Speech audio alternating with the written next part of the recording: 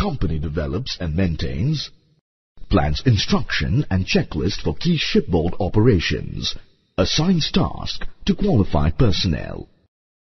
program for drill and exercise to prepare for emergencies, shipboard operation and emergencies, procedure to identify, describe and respond to potential shipboard emergencies.